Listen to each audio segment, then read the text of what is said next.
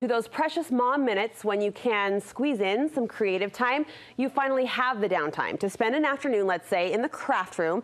So the question is, which project will you pick up?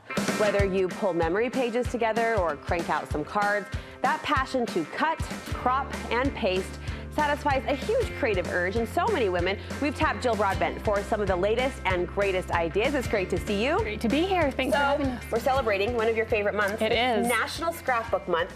Give me a sketch, Jill, on where that traditional hobby of scrapbooking really stands at the moment. Yeah, I think scrapbooking is still so alive and well. It's such a fun outlet for people and it is beneficial. It's doing something that is preserving your memories, that's keeping all of those things intact for the generations to come. It's family history. Exactly, exactly. Yeah. In a fun, creative outlet as well. So yeah, it's you, kind of both together. You satisfy that creative desire, right. which like I said, a lot of women have and they feel fulfillment in that and your memory keeping for your family right. at the same time. I want to dive in. You've got 10 yes. fresh ideas we do. for scrapbook bookers in honor of National Scrapbook Month, but these could branch out to all sorts of crafting styles. Absolutely. Card making, anything, paper crafting, any type of thing that you enjoy, it's a great way to do this with some of these fun techniques that you can do with paper. So First, you're seeing titles go really large scale. Yeah. So you can see on this baby layout here, we've done her name really large, the weight, and all of those important details, making that the focus of the page. So you can see that by adding those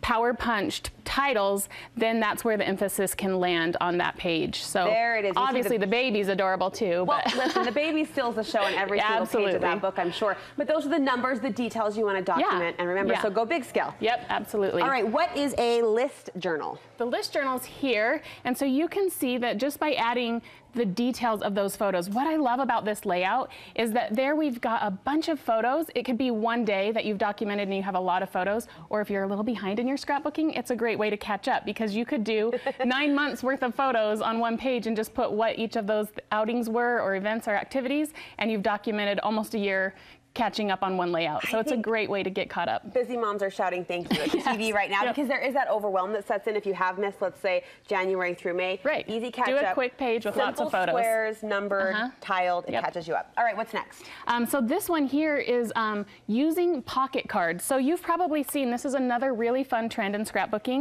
is using pocket cards so oh. that you can do the little sheet protectors that are divided, you add your photos, you slide in the pockets. That's another great way to just get things done quickly, to still have color and design to your pages. But what we did here was we took the cards yeah. that are made for pocket scrapbooking and applied them to a traditional layout. So we just oh, used the cards as our paper and yeah. as our embellishment, and that was a great way to still use those quick and easy products, but in a more artful way. Well, and it's repurposing maybe products like that. Yeah, you might like have a that. few left over, and you sure. can absolutely mix, mix, those in with your layouts. So. There's something about that tiled grid effect that's so pleasing yeah, on the eye, right? Is. Yeah, I'm a symmetrical a, girl. It's a perfect balance. Straight lines, yep. even Steven. What, what have you done here? So this one is the journaling. Look at how fun the impact is by taking that journaling and making it the full page. Oh, that's amazing. So we did that with a Cricut. You could use a Silhouette, any cutting machine, and we just backed it with white cardstock. Yeah, the detail is cool. If you don't have a cutting machine, though, you could do that on a full 8.5 by 11 piece of paper in your printer, print your title in a large scale format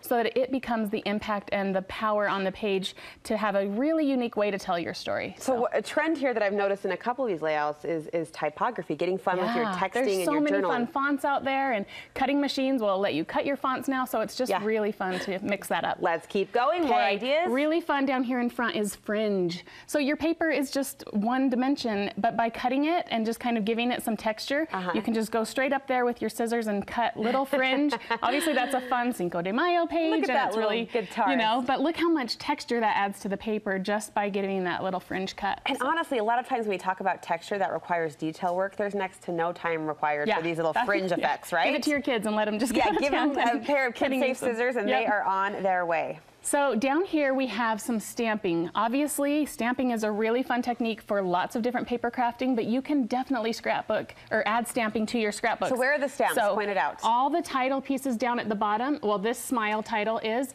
as well as all the words that say be happy. We just random stamped that and kept that title going, changing the color as you go. Look how fun, um, kind of a gradient. But all you had to do was load your block one time with a word, with oh, your stamps. Oh, with the green? So, yeah. So we just took an alphabet stamp, loaded a word onto uh -huh. our Uh-huh. block, and then you can stamp that over and over as many times as you want in any color it's that you want. ombre. Yeah, and it makes, right? makes your own background. You're just basically making your own background paper. Um, so you could use letters, images, anything you want to do stamping on your pages that way. All right, this picture really is fun. just magical, and you've played up on that magic in the embellishment. Yeah, this one, what I love about it is a really fun trend in just layering your papers behind. You can easily just take your one inch uh, scraps and layer those behind your photo. We've roughed up the edges, we've added just little pieces of vellum, but again, all of that keeps the focus on your photo. Right. So it just adds that little texture around your photo, but it doesn't distract at all from what you're doing there with that picture that you're Another trying to document. Great way to use your scraps. I love the rustic edge, and it almost jets out from the paper in sort of a 3D Right. way yeah, if you're it just gives you that dimension. What have you done here? Here um, is just using our photos inside the actual banner design. So instead of having your 4x6 photos all over the page, Uh-huh. we've used those photos in that. And you can see you can use little dies to cut those nice and easy, but a, a cut like this is super easy to achieve if all you have is scissors. So just a fun way to add your photos into the actual design of the page. All right, this last photo, I have to say, takes Isn't the cake. And the way that you've played up on the circular shape from the photo to the page is brilliant. So this is a really fun trend right now is just adding lots of circular elements to your page, but we went a step further by rounding the photo itself and making the photo part of the circle, and then the title just goes right around that and really gives you just a fun impact on your That's page. That's adorable. That is adorable. The tenth and final way to freshen up your pages or your projects is Here, through a very oh, right technical here. technique called yes, smooshing. Smooshing is what we like to call it. Very technical and really glamorous. Uh, but you can see here how we've got this watercolor pattern. Yeah. And that isn't printed on the paper, that's just done with watercolor paint. How so? Show us So quickly. really fun. You're just going to take any packaging. This is the packaging that this, these embellishments come in, and you can Uh-huh. see it's just kind of that crinkle You're using the pattern. Plastic? you just use the plastic Oh. packaging. Any plastic that you have around, my well-loved watercolors. 'Kay. So this is just water. So Brooke, what color do you want to use? Oh, pink. Let's go pink. It's on the brain. All right, yep. For the baby girl Baby counting, girl, you can use any of those fun pinks. color, I'll okay. do some turquoise. Okay. And what you're going to do, you're just going to get as much paint as you can and put it on the packaging. Just Okay. Oh. willy-nilly, Oh. all over. You're just trying to get like a little That's my pile. style, willy nilly. So I feel like I am meant for this project. Okay. So there's no right or wrong. Here's some cardstock. Then you can take just a little bit more water to keep that nice and wet and get the movement going. Okay. So you can just add a little water. Now when you put this onto your cardstock, you're just going to flip it over and you can move it around before you lift up. So Is you can smush? see, yes, this is smushing. so you can see kind of where your pattern's going, where your paint's going. You can drag it where you want. Am I doing something artistic? No, yes, you totally are. Does this count? Look at that. Yep, and then you can come back Oh. in and pick up your plastic and Oh. pop it back down. Kind of the spots take over? Yeah. Okay, wait a minute. Yep. That's darn cool. Yeah, then you can come back in here with some more paint, flick it on to get some more uh, texture and Okay. detail. But that's smushing. So we did that here, just all the way down in a rainbow pattern, and you can see what a fun impact that is. It's kind of addicting and really fun just to see what happens when you mix your colors and your paints to make your own backgrounds. Really cool. Really cool. 10 fresh, great ideas. I understand you've got a kit out to celebrate the Yes. month. So close to my heart um, is celebrating National Scrapbooking Month with a very fun paper pack. You can see here it's all kind of vacation paradise Pretty themed. colors. It's got paper, cardstock, a coordinating stamp set, and a cut above kit that lets you do the quick assembly if you want to go that route. So All right. really so fun. we contact our consultant to get Yes, these special absolutely. kits.